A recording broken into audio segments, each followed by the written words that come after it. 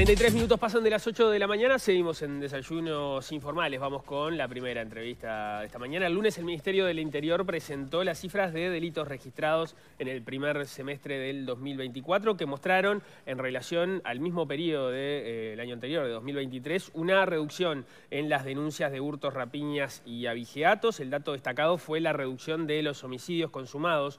Hubo 191 en ese periodo de 2023 y 180 en 2024, es decir, que cayeron un 5,8%. Estos datos vienen eh, precedidos por el sumario que se abrió al director del Observatorio de Criminalidad del Ministerio por cuestionar la eh, nueva tipificación de delitos que empezaría a regir en el próximo informe trimestral. Vamos a estar hablando de todos estos asuntos con Diego Sanjurjo, coordinador de Estrategias de Seguridad Integrales y Preventivas del Ministerio del Interior. Diego, bienvenido. Buenos días, ¿cómo están? Bienvenido. Bienvenido, buenos días. Bueno, ¿qué primer análisis podés hacer de estas cifras del eh, primer semestre del 2024? Bueno, primero que son, son cifras buenas, hay que decirlo. Este, como, como aclaramos siempre, estamos hablando de criminalidad, estamos hablando de delitos, estamos hablando de, cosas trágicas, por lo tanto nunca se puede estar satisfecho, ¿verdad? Pero eh, ustedes, si, alguno de ustedes estuvo en la conferencia de prensa que dio el ministro Martinelli, habrán notado que, que, a propósito, porque no, no es algo que, nos, que, esté bien hacer, no se comparó con el año 2019, sino que se comparó con el año anterior o se mostró toda la tendencia de los últimos 10 años. Eso se hizo a propósito para, despolitizar justamente esa, conferencia. Es, curioso ese, ese, apunte que, que haces. Primero, porque esa fue una conducta eh, hecha expresamente por este gobierno que estuvo comparando permanentemente las cifras con el 2019, algo que se entiende desde el punto de vista político, no necesariamente desde el punto de vista técnico, porque no es necesario comparar con el periodo anterior. Eh, y por otro lado, porque tenía una pregunta sobre esa y es, es verdad que, sucedió eso. Ahora, también es verdad que si vos comparás con el 2019, los homicidios en el primer semestre no, no cayeron. Entonces, como justamente se ha manejado con una lógica política la comunicación de las cifras, me preguntaba si eh, no tendría que ver con eso que la columna del 2019 en comparativa con el 2019 haya desaparecido. Lo que pasa es que yo creo que cuando uno presenta los datos en un informe técnico, uno los presenta a la ciudadanía, tiene que comparar, o sea, tiene, que intentar despolitizarlo y, comparar con el año anterior o la tendencia, que es lo más importante, los últimos 10 años, los últimos 15 años, como hicimos ese día. Ahora, a su vez, cuando uno sale a la prensa, cuando voy yo a la prensa, por ejemplo, y se me pregunta, bueno, ¿cómo, cómo evalúo los resultados? Yo tengo, naturalmente, que poder tomar en cuenta las cifras que recibí cuando llegué a la gestión y las que estoy teniendo en este momento. Tengo que hacerlo porque si no, no puedo evaluar nuestra gestión, ¿verdad? Y en ese sentido es donde yo digo que son muy positivas. Más allá que es verdad que en el primer semestre de 2019 hubo, algunos homicidios menos que en este primer semestre, hemos gradualmente, semestre a semestre, durante nueve semestres, bajado la enorme cantidad de delitos hasta el punto de que cada semestre yo vengo a este programa y doy números que comparándolo con, con el año en que llegamos son mejores. ¿no? Y hoy ya tenemos un 40% menos de rapiñas tenemos casi un 60% menos de denuncias de vigiato. Es un montón, o sea, realmente es un montón. ¿no? Entonces, eh, entiendo que no es políticamente correcto decir que uno está satisfecho en estos temas, es toda una discusión también interna que yo tengo, pero eh, me gustaría estar mejor, me gustaría que creo que los homicidios, como hemos dicho muchas veces, lo ha dicho el ministro, lo ha dicho el presidente, yo también lo he dicho, son el, el gran debe que tenemos pero, pero son números muy buenos que, me llevan a mí a, estar satisfecho y, creo que tenemos a mucha gente trabajando para bajar las rapiñas, para bajar el abigeato, para bajar los hurtos y hay que reconocerles que están logrando resultados muy positivos. Hay algo que siempre se habla cuando, cuando surgen los números, que es que, salvo en el caso de los homicidios, donde hay una prueba este, irrefutable, estamos hablando siempre de denuncias. Y una de las cosas que plantean... Ahí, perdóname, tenemos, tenemos un indicador que ahora estamos incluyendo, que es el robo de vehículos, que estás obligado a denunciar. Es un indicador muy fiable. Ha bajado un 40% desde 2019, ¿no? Sin querer despolitizarlo, pero gradualmente, semestre a semestre, viene bajando. Lo que te quiero preguntar es, porque ahí, este, siempre surge la, la duda o las personas que dicen, está bien, bajan las denuncias, pero antes cuando llegaba el patrullero, venían los policías con una tablet y vos podías denunciar en el momento. Y eso ahora no es así, entonces hay gente que deja de denunciar. ¿Cómo es concretamente ese tema? No, no es real. Es, decir, están las mismas tablets que estaban antes o más porque se han ido renovando. Por supuesto que es el mismo, funciona de la misma manera. Eh, Hemos, tenemos una página web nueva con la que es mucho más fácil eh, denunciar. Tenemos también un sistema por el cual uno puede hacer una denuncia informal, que luego lamentablemente tiene que ir a corroborar, como en cualquier parte, mm. con su firma. Pero, es decir, eh, eh, hemos, porque la tecnología se ha abaratado, porque tenemos más funcionarios en la calle, porque tenemos casi 150 dependencias policiales más que antes en todo el territorio nacional, porque tenemos más de 1.200 vehículos más que cuando llegamos. por todas esas razones por todas esas razones es más fácil denunciar que antes. Es, natural eso. O sea, es falsa la explicación de que como el pago no está y antes la tablet iba al lugar de los hechos, era el momento exacto, alentaba la denuncia ciudadana. Eso es falso, sigue pasando. Eso es falso porque hay policías, más policías que antes que tienen tablets, que no son todos, porque no podemos tener 30.000 tablets, evidentemente, es, es demasiado. Y tener una tablet también implica, implica problemas para el funcionario pero no, yo creo que no es verdad, francamente. O sea, no se desalentaron las denuncias que pueden hacer los ciudadanos de una manera. Pero a ver, es que yo puedo entender esa crítica política, pero implicaría una conspiración de policía con fiscalía de, miles, o sea, decenas de miles de personas en todo el territorio nacional eh, obrando para ayudar al gobierno. O sea, creo que es, creo que es un poco irreal, me parece a mí. Bien. Em, a, propósito de, los números, hay, una, discusión, escuchaba el otro ayer al, sociólogo Gabriel Tenenbaum hablando a propósito de, las cifras, y él le hacía este, una crítica que no, es para este gobierno, sino eh, para todos los gobiernos, cómo venían midiendo los delitos, em, a propósito de que no se mire específicamente los delitos vinculados a la ley de estupefacientes, que se entiende que es un problema que eventualmente podría ser creciente y que además tiene este, unas externalidades negativas, el aumento de la violencia, etcétera. Él decía, bueno, eso no se está este, analizando de manera este, concreta en, estas revisiones a propósito de cómo eh, se mide el delito. ¿Ustedes han, pensado en una línea por ese, por ese lado? La verdad que no he escuchado esa, esa entrevista en particular. Lo que sí puedo decir es que, bueno, relacionado a la ley de estupefacientes, un indicador que a mí no me gusta porque no me parece que sea este, útil quizá para la política pública, pero son, por ejemplo, los allanamientos o las incautaciones de droga. ¿no? En ese sentido, hemos, hemos duplicado o triplicado ambos indicadores también. ¿no?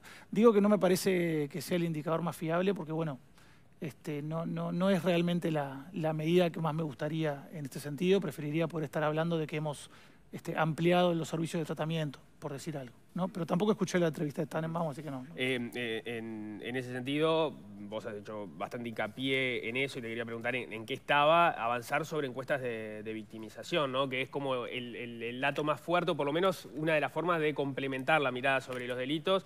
Hubo una experiencia en el gobierno anterior o en el anterior, no me queda claro, quedó este, como una experiencia única, tampoco tuvo demasiada difusión. Eh, bueno, eh, ¿se va a terminar con, algo de esto en este periodo? ¿Es algo que va para el periodo que viene? Eh, bueno, e, eso es parte de la estrategia de seguridad integral y preventiva, que, para recordarle simplemente a la audiencia, es la, necesidad imperiosa que tenemos de que la seguridad deje de ser puramente policial y represiva y pase a ser un esfuerzo también preventivo e interinstitucional. ¿no? Y ahí tenemos una cantidad de organismos que hemos ido metiendo desde entonces a la política de seguridad pública. Una es el INE. El INE está, por un lado, haciendo una auditoría y evaluación de todos nuestros sistemas de información y del trabajo del Observatorio Nacional de Violencia y Criminalidad. En este momento, los últimos dos meses, están evaluando dentro del Ministerio Interior cómo funciona. Y por otro lado, tienen, ya están en terreno haciendo el módulo de victimización de la encuesta continua de hogares, es decir, esa encuesta, esa encuesta que, que todos conocemos, ¿verdad? Va a tener un módulo de victimización, que es una innovación a nivel regional, y por otro lado, a fin de año, ya está, está pago y planificado, eh, se va a hacer la, siguiente encuesta nacional de victimización, ¿no? que como decís, es fundamental porque es el indicador que, yo espero que en unos años termine siendo el cual discutamos en este tipo de entrevistas, ¿verdad? Pero claro, va, a depender de que los próximos gobiernos continúen ese esfuerzo. Una encuesta no te sirve de mucho. Son incómodos para los gobiernos porque si vos tenés alguna posibilidad de desalentar las denuncias o eventualmente de... Eh, cambiar la categorización de las denuncias, que entiendo que no es algo que, se admita desde el Ministerio del Interior y yo no lo estoy poniendo en duda, a veces se discute desde el, Frente Amplio, no sé, poner, pasar rapiñas para hurtos, por ejemplo, es algo que se, ha, dicho, bueno, todo eso con la encuesta de victimización no, se puede hacer, porque en definitiva estás capturando la, impresión de la ciudadanía. O sea, a ver, cuando los resultados de la encuesta nacional de victimización eh, van a estar a disposición seguramente o, a finales de este gobierno o a principios del próximo. Y sí, efectivamente va a ser un baldazo, porque como, como es natural en cualquier país del mundo, va a tomar toda la cifra negra de delitos y no solamente los denunciados, y van a haber muchos más delitos, este, en teoría, de los que se denuncian, ¿verdad? Ah, Creo que va, va a estar ahí la, la madurez de nuestro sistema político, del Ministerio Interior y del periodismo también, de entender que esa es la herramienta que se tiene que utilizar. Hay algo que en, en este sentido y en cómo la gente se siente y en después si eso lleva a que uno denuncie o no denuncie, me están llegando un montón de mensajes y, quiero trasladarte alguna pregunta que, viene en este, en este sentido, porque eh, hay gente que dice, eh, en los barrios donde el narco está mandando, la gente no denuncia nada porque tiene miedo. ¿Ustedes tienen alguna forma de medir eso, no? En los lugares donde saben que la zona está muy complicada, ¿la cantidad de, de denuncias se corresponde con los hechos que después todos conocemos? La gente en general, las personas eh, en Uruguay y en cualquier parte, denuncian cuanto más grave sea el hecho y cuanto menos estén acostumbradas a que suceda. Entonces, efectivamente, hay barrios de Montevideo ¿no? y de algunas ciudades del país donde una proporción menor denuncia los hechos de violencia y de criminalidad Claro. que, por decir, en los barrios de la costa. El tema es que eso siempre fue así porque no ha empeorado con relación a otros años y otros gobiernos. Tiene Eso sentido ¿no? que la gente tenga miedo de hacer una denuncia si está viviendo entre tiros. Sí, por supuesto que sí, pero eso era también válido en 2019 y 2018. Es decir, la, la variación de las denuncias generalmente es representativa del universo mayor de delitos que ocurren en los barrios. Entonces, eh, eh, es tal cual, por eso es tan importante llevar adelante encuestas de victimización, por eso el valor de que, de que este ministro y este presidente también, porque es un, es un esfuerzo interinstitucional, haya mandatado encuestas nacionales de victimización y también en la resolución sale que el INE las tiene que hacer públicas y tiene que publicar los datos en formato de datos abiertos, pero, pero no, no tenemos ninguna razón para pensar que, la gente denuncia menos que antes, o sea, no, no hay ningún argumento válido para sostener eso. Podría suceder, pero no, yo no encuentro ningún argumento para eso. Ya vamos a entrar en la discusión este, técnica a propósito de cómo se están midiendo los, los homicidios, en particular la motivación de los homicidios, pero me queda una más. Vos decías que, reconocen que hay un problema con los, con los homicidios, lo reconocía el, el propio presidente de la República. Hay, hay una forma de mirar que está circulando, por lo menos entre algunos dirigentes del Frente Amplio, que es ya no medir año a año, sino medir lo que ha pasado quinqueño a quinqueño. ¿no? Y ahí, si uno mira... Este, para atrás tengo datos por lo pronto desde este, los 90, o sea, empiezan con el, con el gobierno de, la calle Herrera.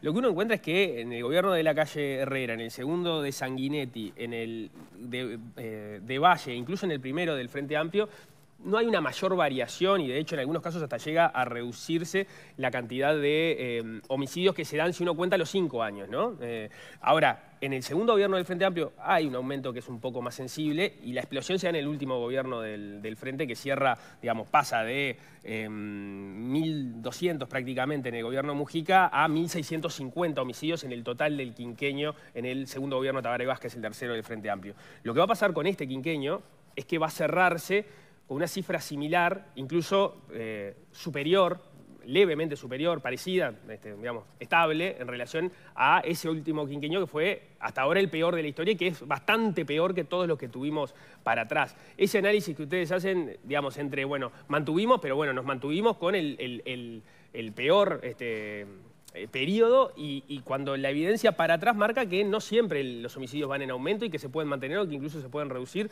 ¿Cu- ¿Cuál es la lectura que hacen? Bien, yo tendría ahí dos respuestas. Una sobre los indicadores, otro sobre la- el argumento político que utiliza la oposición.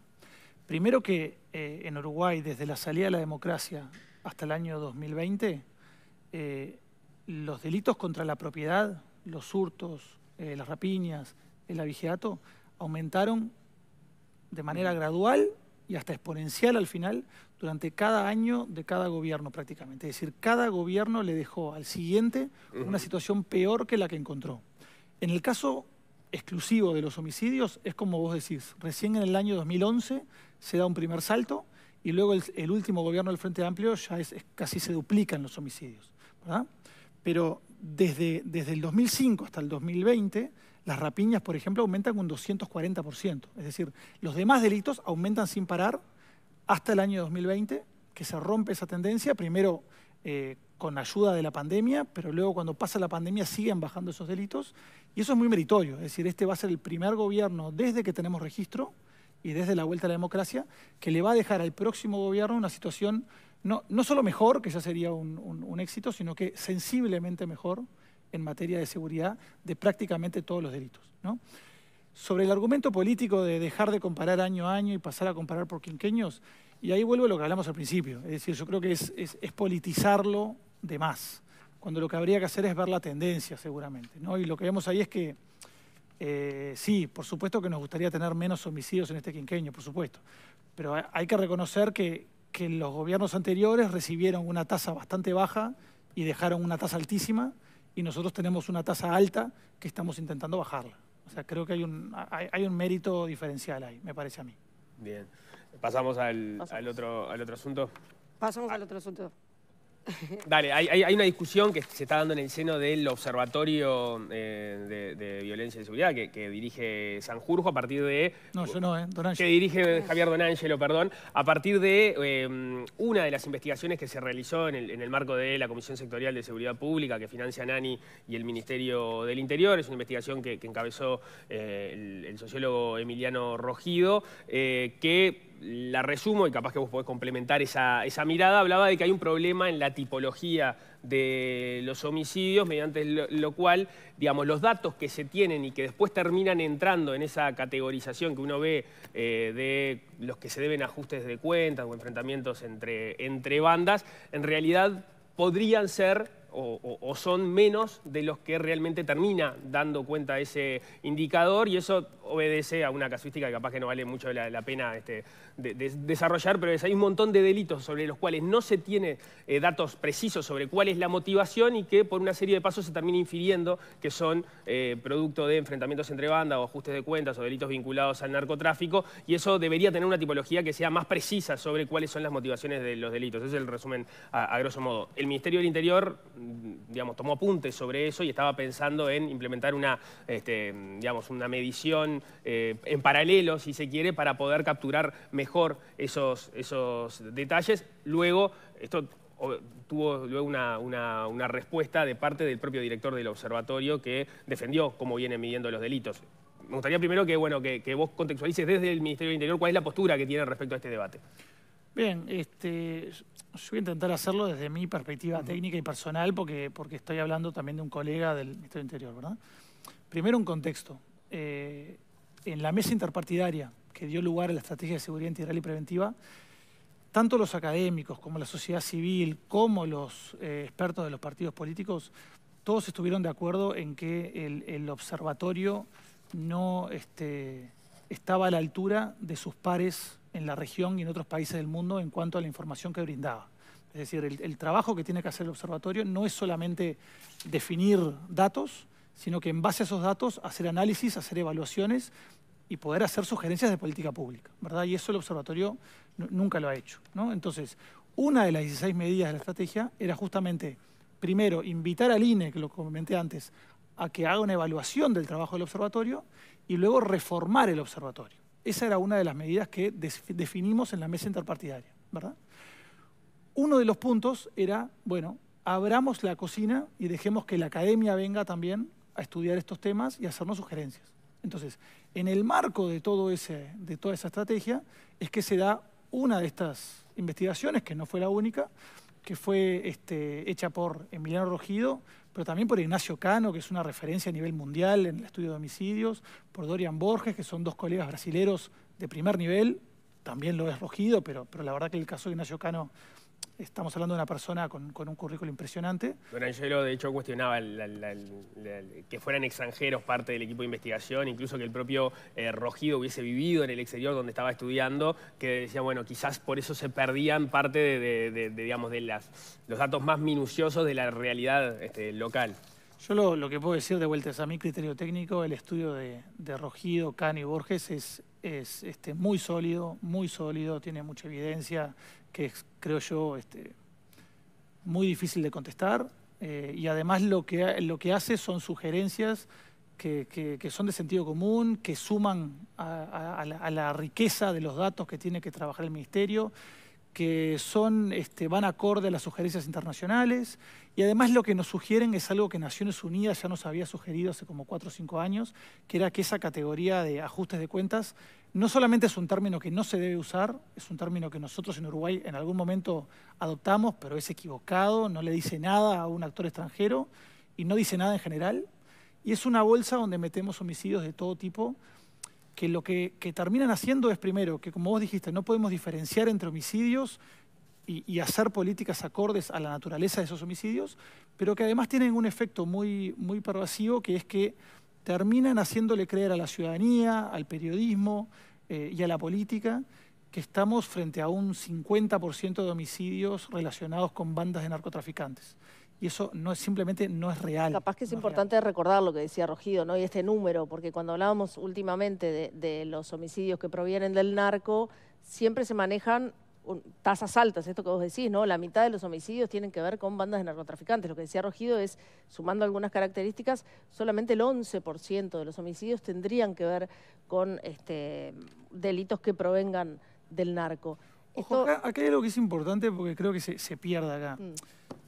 Lo, los autores, no, no, quiero solamente dejar a Rogido, a Rogido tres sí, autores, claro. ¿no? Este, los autores no es que digan que no pueden haber más homicidios asociados al narcotráfico. Exacto. Lo que ellos dicen es que si vos ponés eso en una categoría, tenés que tener una razón para ponerlo. Tenés que tener variables, ¿no? protocoladas, este, parte de un manual parte de estándares técnicos que me digan por esta y esta y esta razón, este homicidio en particular, yo creo que está asociado, por ejemplo, a una lucha entre bandas. Pero si esa y razón eso, ahora no está puesta encima de la mesa, ¿qué pasa con el homicidio que sí está vinculado a esa? ¿Deja de existir? ¿Me explico? No, no, es decir, lo Porque que ellos no, dicen no es que... estarse contando. Lo que ellos dicen es que, es que en el año que ellos estudiaron, 2019. solamente había evidencia suficiente como para decir que un 11% de los homicidios estaba vinculado al crimen organizado eh, asociado al tráfico de estupefacientes. Mm. Nada más. Podrían haber otros homicidios, pero yo tengo que tener algún registro de por qué estoy diciendo que ese homicidio es parte de eso. Bueno, parte de la polémica de una de las cosas que señala Rogido es que el observatorio establece esta lista de nueve atributos y que si un asesinato cumple con cuatro de esos atributos ya se lo marca como un asesinato que proviene del enfrentamiento entre narcos. Ellos cuestionan justamente esta forma del, del observatorio de... de sí, yo, yo también la cuestiono porque es real, o sea, no puede ser que no haya un registro de esto. O sea, no puede ser que yo no pueda ir para atrás y decir, bueno, pero este homicidio concreto, ¿no? que Fiscalía no, no lo ha asociado, por ejemplo, al narcotráfico, ¿por qué lo están asociando ustedes? ¿no? Es decir, tiene que haber ese, ese protocolo, tiene que haber ese registro, que no lo hay. Pero acá yo, yo es decir, lo, que siempre nos cuestionan es justamente esto, que no dejamos trabajar a la academia, que no trabajamos con la academia, que no tomamos las críticas. Acá tenemos a académicos de primer nivel internacional, que les abrimos la cocina, les pedimos que nos hicieran sugerencias en materia de cómo registramos los homicidios, nos las hacen, nosotros después de considerarlo y analizarlo, consideramos que tiene razón, que mejora este, la forma que tenemos de trabajar, y queremos aplicar la metodología, ya está. La, la, idea es que en el próximo informe estén ambas categorías, categorizaciones, es decir, que esté la tipología tradicional del, del observatorio y también que esté la nueva sugerida por estos académicos. Ahí está, eso no responde parte de las críticas que hacía eh, el, el, propio Don Ángelo en esta, este, artículo que, publicó Leo Abercon, que decía que se preguntaba si no habría un intento de tapar el, sol con un dedo respecto a las, dificultades que existen para bajar los homicidios vinculados a, la acción de las bandas narcos. Eh, lo que dicen ustedes es, bueno, no es que se va a sustituir una medición por la otra, se van a dejar las dos en paralelo para que se pueda, digamos, se, seguir existiendo el comparativo para atrás, pero a su vez también mirar esos otros aspectos. Pero además, eh, yo creo que es al revés, porque justamente lo más fácil, políticamente lo más fácil, es hacer populismo punitivo. Es decir, hay unos narcos, hay un ejército narco al que tenemos que enfrentar y dennos más dinero para enfrentar al ejército narco. Nosotros estamos haciendo lo contrario, que es, es, es lo correcto, que es decir, che, ojo que por supuesto que existen bandas de narcotraficantes, pero la, la, influencia que tienen en los homicidios es mucho menor. Claro, Acá tenemos un problema bastante más difuso, bastante más complejo, bastante más terrenal, por así decirlo. Bueno, pero a propósito de eso, lo que, lo que señala precisamente Don Ángelo es que dice, pensar que solo el 2% de los homicidios se debe a conflictos entre grupos dedicados al tráfico minorista es una estimación del problema que lo coloca en niveles insignificantes, este, diciendo, bueno, entonces este, estás como reduciendo el problema. Y por otro lado, dice, si el accionar narco es un factor marginal, alguien podría sostener que la violencia que estamos viviendo es un fenómeno difuso que está en toda la sociedad y que por lo tanto no hay nadie a quien responsabilizar. No, no, nosotros somos los primeros responsables responsables, pero como siempre digo, tenemos que sumar también a la política de seguridad, como se hace en, países que son seguros, al MIDES, a ACE, a la Junta Nacional de Drogas, porque es tal cual. Es decir, la mayoría de nuestros homicidios no se dan por bandas de narcotraficantes que se enfrentan entre sí, sino que se dan por situaciones mucho más banales, pero que en algunos barrios eh, son, están absolutamente acostumbrados a recurrir a la violencia para solucionarlo. El riesgo que advierte, en definitiva, también don Ángelo está vinculado a que tratar este tema y reducirlo, según sus palabras, algo tan insignificante, puede generar el riesgo de empezar a construir una política pública que esté verdaderamente alejada del problema de la realidad. Don Ángelo, que por cierto también está cursando un PhD en criminología en la Universidad de Cambridge, no es que esté alejado del mundo académico tampoco. De, vuelta, yo no, quiero contraer a Don Ángelo, yo lo que puedo decir es que esa, ese trabajo que... ¿Refleja la realidad o nos alejamos? Yo creo que refleja la realidad, creo que es un, trabajo muy serio, pero en todo caso, como, como me decían los autores también, para refutarlo, lo único que habría que hacer es demostrar que en ese año hubieron más homicidios vinculados al narcotráfico. Es lo único que habría que hacer. Y eso, no, aparece en el informe que presentó don Angelo ante No, las críticas que, hacían ellos era que, que los investigadores eran extranjeros, como vos dijiste, eh, que no conocerían la literatura él mencionaba, por ejemplo, el caso de San Carlos. Uno puede rastrearlos. Em, sí, creo que era el caso de San Carlos. Uno puede rastrear más o menos los homicidios que se van dando y más allá de las características de los homicidios va identificando que pertenecen a determinadas familias vinculadas al mundo del narcotráfico. Dice, bueno, a partir de eso se puede eh, inferir que esos delitos están vinculados al, mundo del narcotráfico y eso se, lo puede, se puede escapar en una medición de un año puntual, por ejemplo, como el, análisis este, de partes policiales que hizo Rogido. Y tiene toda la razón. El tema es que ahí lo que nosotros deberíamos hacer, como nos, nos señala Naciones Unidas hace años, es tener un registro y decir, ese homicidio yo lo estoy catalogando en esta categoría por esta, esta y esta razón. ¿no? Eso, no estaba dentro de los criterios con los cuales se va desagregando... Este... Eso el observatorio no, lamentablemente no lo hace, ¿no? Debería empezar a hacerlo. Es decir, ahora con esta nueva tipología va a tener que dejar un registro de por qué mete cada homicidio en cada tipología. Ahí, me surgen un, par de preguntas más. Digamos, me parece que la discusión que, se está, que estamos viendo es para, es para celebrar. Si lo que estamos tratando es de calibrar mejor la herramienta con la cual medimos el, problema que tenemos respecto a los homicidios, que ahí todos coinciden de que es un, es un problema y son números mucho más altos de los, que deberíamos aspirar como sociedad, eso es bueno. La, duda que se me genera es si no hay cierta mm, inequidad hacia la posición en la cual está Don Ángelo, que de hecho por, por este artículo termina sumariado, cuando la investigación que realizó Rogido y sus colegas fue pública, se presentó, la pudo discutir este, públicamente, hemos conversado contigo sobre este tema, no es, la, única vez que lo hacemos, con el Ministerio del Interior. Claro, Don Ángelo, que es el director del observatorio, que es a quien se le están apuntando por haber este, desarrollado esta tipología, que aparentemente tiene los problemas que señala Rogido, eh, parece inhibido de poder defenderse porque por lo pronto cuando sale este informe que él presenta ante el Ministerio del Interior se presentó en, abril, no se había hecho público y, bueno, cuando él sale a, dar alguna de sus explicaciones, en su acierto o en su error, gustan o no gustan sus explicaciones, termina eh, sumariado. ¿No hay ahí cierta inequidad para dar esta discusión públicamente? el tema es que ahí están los riesgos de, de trabajar con la academia, ¿no? que es lo que muchas veces durante mucho tiempo históricamente ha inhibido justamente al Ministerio del Interior a trabajar con la academia, que es que bueno, uno, uno, no manda sobre los académicos, los académicos dicen lo que les parece que hay que decir, tienen su bagaje, publican lo que quieren publicar, es decir, ellos a partir de este informe van a hacer publicaciones internacionales, sin duda alguna, está perfecto que lo hagan, está bien.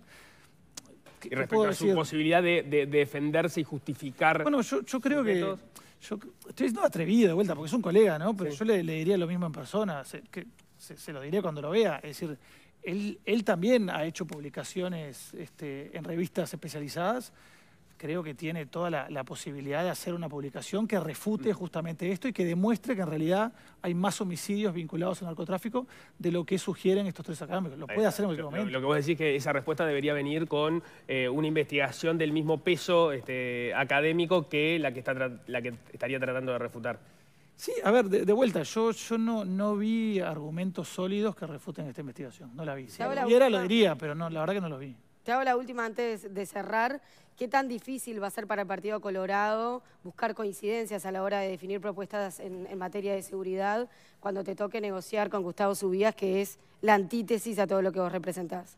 Te cambian de sombrero. Me cambió, me fui para otro lado. Eh, bueno, no, lo sé. La verdad que todavía no he tenido una, reunión con, con Andrés Ojeda ni con Gustavo Subía, así que no, no puedo decir mucho al respecto. Pero vos has Quiero sido muy crítico con, con Subía en distintas oportunidades y él... Y Sofía, y Sofía ha sido más crítico con él. Y él piensa que tus propuestas, voy a usar una frase de él que no sé si le dijo en re- referencia a esto, pero él habla de las, las frutilleces, ¿no? Las frutillitas. Eh, Sí, a ver, mis políticas no son políticas de Diego Sanjurjo, son políticas basadas en evidencia, es lo que se hace en los países que son seguros y a los que yo me quiero parecer. Ya está. Pero bueno, sobre esa posibilidad de llegar a un consenso no, puedo decir mucho porque no conozco la- las opiniones al respecto de Andrés Ojeda, ni tampoco de Gustavo Subía, así que Bueno, bueno, la no, las son, son bastante públicas, ¿no? Sí, bueno, pero capaz que, capaz que ha cambiado de opinión, la verdad que no, no lo sé. Ahora, eh, estás, eh, a priori estás dispuesto a formar parte de los equipos técnicos del Partido Colorado en esta nueva etapa electoral. A ver, yo soy colorado, voy a apoyar a mi partido, este, quiero que le vaya bien a mi partido, pero yo no, no, no me puedo sumar a un equipo técnico si no se piensa igual que yo. No sé, sería, sería ilógico, me parece, esperar eso de una persona, ¿no? Entonces, tengo que sentarme y ver qué, qué es lo que piensan, cuál es el enfoque que quieren tener. Este, yo llevo cinco años intentando justamente crear una política de Estado, intentando que todos los partidos políticos entiendan que no hay políticas de seguridad de izquierda y de derecha, que esto de las frutillitas es una estupidez y que lo que hay que hacer son políticas basadas en evidencia como las que se aplican en todos los países a los que nos queremos parecer. ¿no? Entonces, evidentemente no puedo trabajar políticamente por lo contrario a eso. Ayer eh, acá estuvo Felipe Schipani hablando de los equipos de seguridad y dijo que iban a estar los dos. Bueno, no lo sé, tendré que sentarme y verlo. Eh, o sea, el optimismo de Ojeda respecto a que los pueda hacer conversar, vos lo pones en duda todavía, eso no, no, no, no está garantizado. No, no, so- so- soy optimista porque me gusta ser optimista, ojalá que, que- que pueda formar parte de los equipos de seguridad. Pero, la tengo que ver qué piensan como ellos. definiste ahora, es que prime, en definitiva, tu perspectiva a la hora de construir política pública. No, no, no no es que prime, es que esto es como si yo fuera un, yo qué sé, un técnico medioambiental y me digas que, bueno, que tengo que apoyar a, a gente que quiere hacer exactamente lo contrario, ¿no? Es decir, no, no es factible. Yo voy a apoyar al partido, sea como sea, pero no necesariamente tengo por qué formar parte del equipo de seguridad. El- el- Ya está. Ojalá que sí, ojalá que, que Andrés Ojeda este, entienda las políticas de seguridad como las entiendo yo. Creo que sí, porque es una persona que ha estudiado estos temas, debería tener conocimientos de este tipo eh, espero que en esa mesa se hagan valer. Y, y ya, la última, los avances programáticos que presentó Ojeda, eh, ¿los llegaste a estudiar? ¿Están en línea? ¿Son este, discordantes con lo que vos pensás? Bueno, son, son un poco eh, este, la continuidad, ¿no? Es decir, en el sentido de, este, eran, ¿no? La continuidad, eran, eran bueno, básicamente, bueno, más, más tecnología, más policías, este, etcétera. La Están continuidad de bien, este gobierno. Están bien, sí. Yo no, no, no diría que está mal, ¿no? Eh, yo, como ustedes me han escuchado decirlo muchas veces, creo que el margen de mejora de nuestras políticas de seguridad es amplísimo, ¿no? Entonces, me parece que ahí habría que meter una cantidad de medidas adicionales sin las cuales este país no, no, puede seguir funcionando, ¿no? Estoy hablando de tratamiento de adicciones, de rehabilitación en cárceles, es decir, cantidad de medidas que hacen a una política de seguridad efectiva y que Uruguay todavía no ha encarado como debería. Pero ¿no te parece que el Partido Colorado va a salir lesionado si vos no integrás esos, esos equipos de seguridad? ¿Terminaría perdiendo? O no, yo qué sé. Yo, yo en la interna perdí, así que la verdad que no lo sé, francamente. Pero de vuelta, no, no estoy siendo pesimista, simplemente estoy diciendo que quiero, quiero escuchar las, la opinión de, sobre todo del candidato, Andrés Ojeda, antes de poder este, decir si, si me sumo o no a un, a un esfuerzo. Bien. Diego Sanjurjo, muchísimas gracias por esto. Muy amable. Muchas gracias. Muchas gracias a ustedes. Hacemos un corte al regreso, conversamos con el